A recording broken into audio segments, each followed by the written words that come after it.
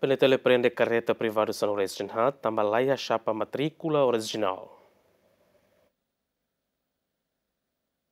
Polícia Nacional Timor-Leste lihusi Polícia Trânsito Segurança Rodoviária Nacional hala operação ba carreta privado Sira ia área Mercado Lama onde prende carreta Sanulo Resinhal também ia chapa matrícula original. Também tare kata carreta privado Barak maka uh, sidau kiha uh, sapa matrícula original nomos uh, iha informação Barak mos kata é mahirak nebe maka conduz uh, carreta privado né quase que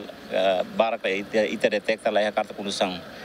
Maka ita halo checkpoint né ita ita ne concentração né ba iha transporte privado né. Também maka ohin ita realiza e na hira bela harera se carta privado lubu kira maka ita ita prende. Tambah ida questões uh, lá a carta condução ida uh, sapa matricula nia uh, original